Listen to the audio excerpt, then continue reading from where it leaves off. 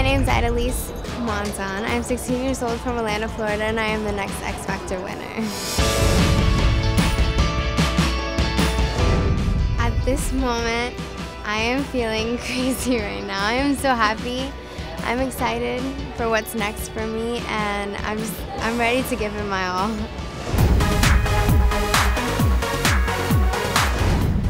I want to eat like steak, maybe pasta. I love pasta, so I just I want to eat anything. Honestly, I'm so hungry.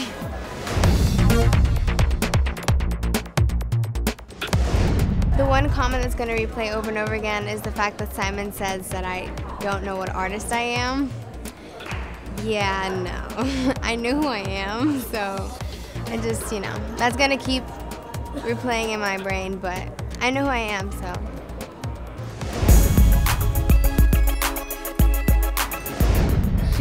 When she was little, like probably like two years old, she would love to eat the leftover of the cigarette, the cigarette from her grandma.